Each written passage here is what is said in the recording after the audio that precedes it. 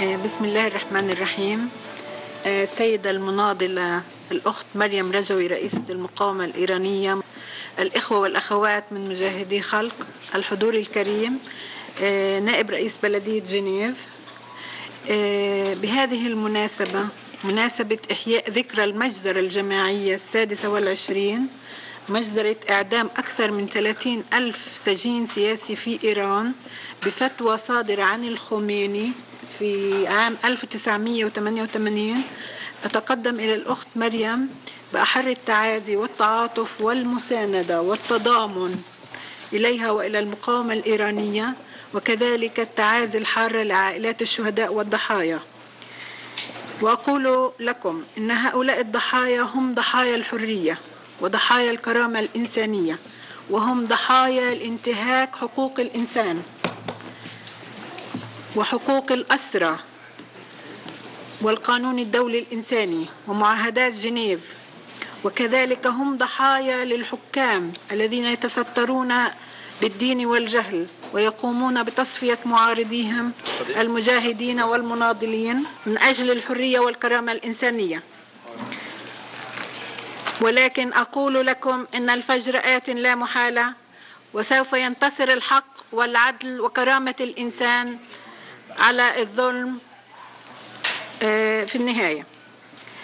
وبهذه المناسبة أدعو الأمم المتحدة والمجتمع الدولي والمنظمات الدولية ومؤسسات الراعية لحقوق الإنسان أن تقف موقفا عادلا وتفعل مؤسساتها وخاصة محكمة الجنايات الدولية وتقدم مرتكبي هذه المجازر إلى المحكمة لنيل عقابهم وليكونوا عبرة لغيرهم من الأنظمة الدكتاتورية الفاسدة والأنظمة القمعية وأمراء الحروب والذين لا يقيمون أدنى وزن للإنسان وحقوقه.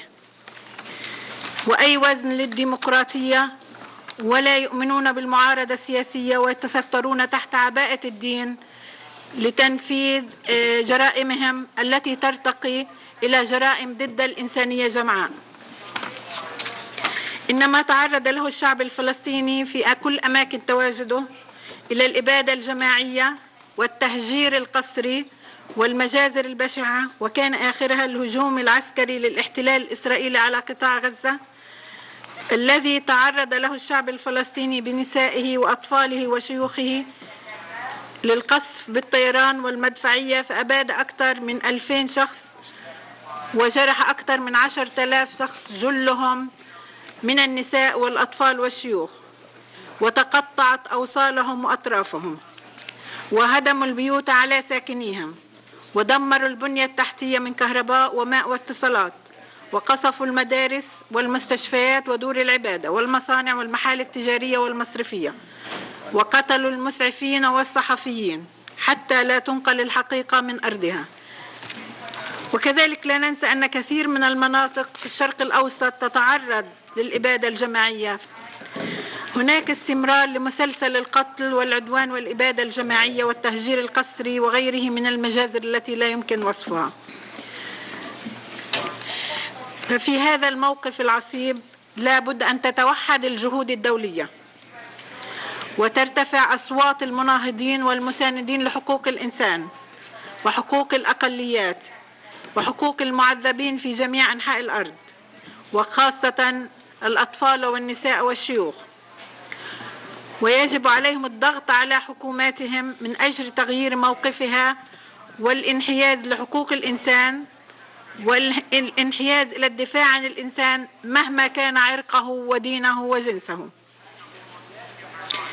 وبهذه المناسبة أقول إن استمرار ارتكاب المجازر البشعة في قطاع غزة يعطينا حافزا لوقف هذه الآلة الحربية البشعة وإدانة لها والوقوف بجانب الحق الفلسطيني في إقامة دولته على حدود معترف بها.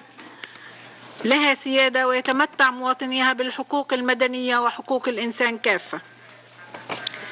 وبهذه المناسبة كذلك أقول لا تضيع حقوق وراءها مطالب ومناضل فأنتم المناضلين من أجل حقوق الإنسان وكرامته وحريته.